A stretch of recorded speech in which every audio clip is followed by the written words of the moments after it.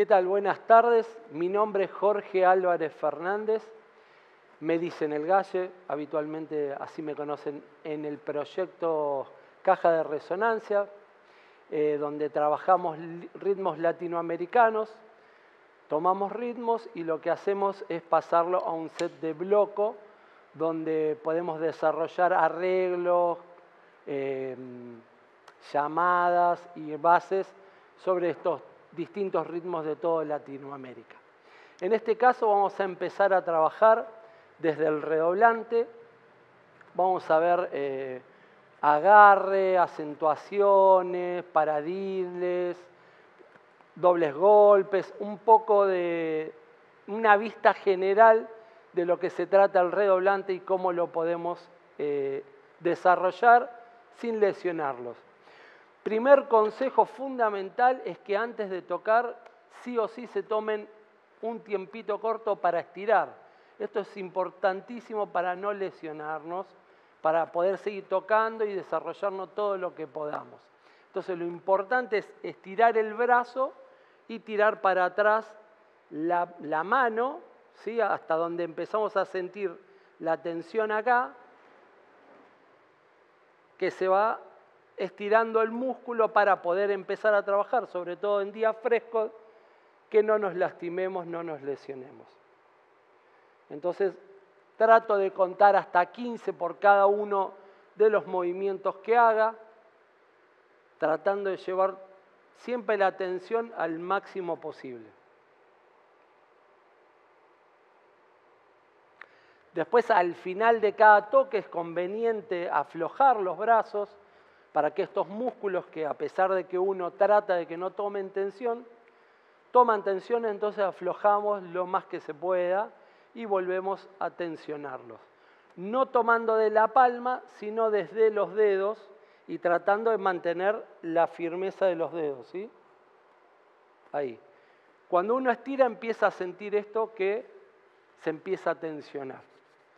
Eso es fundamental para poder no lesionarse. Lo que vamos a tratar de hacer hoy, justamente ver distintos agarres de las baquetas o palillos para que esto nos surja un mejor efecto y podamos eh, trabajar sobre cada instrumento que toquemos, sean tambores o sea el redoblante o tambor, eh, sin ningún tipo de lesión. Entonces, vamos a ver ¿Qué distintos modos hay de pegarle a un redoblante? Tenemos, por ejemplo, los dedos.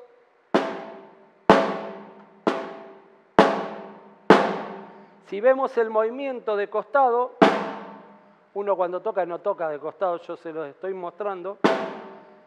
Yo lo que hago es empujar con estos tres dedos de atrás, uso el índice y el pulgar de balance y lo que hago es empujar con estos dedos el palillo.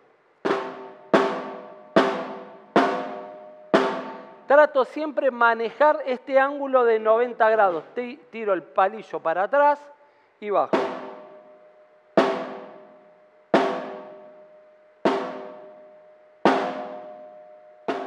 Lo mismo con la mano izquierda.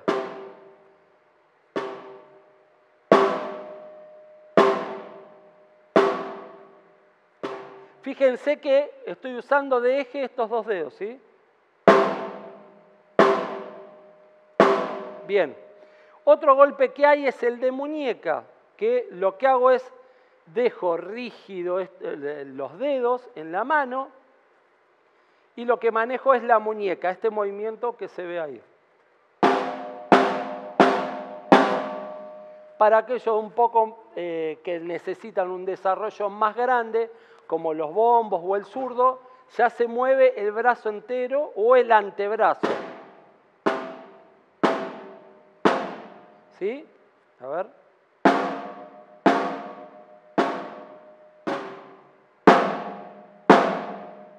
Y el brazo entero.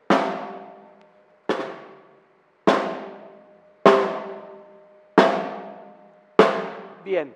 Ahí vimos más o menos cómo es el movimiento de brazo y de distintas partes donde se puede, vimos en este caso los dedos, la muñeca, antebrazo y el brazo completo. Todo dependiendo el ímpetu que necesite lo que estamos tocando. Mi sugerencia por lo general es que traten de minimizar los golpes por el tema de las lesiones. En el caso que, bueno, la canción así lo exija, pueden llegar a hacerlo em, de este modo o de los modos que veníamos explicando. Bueno, esto sería un principio de lo que vimos del redoblante. Nos vemos en la próxima clase, donde vamos a seguir trabajando un poco de el resto de las partes que mencionamos hoy, que son los acentos, que son los paradiles, dobles golpes y demás. Así que nos vemos la próxima.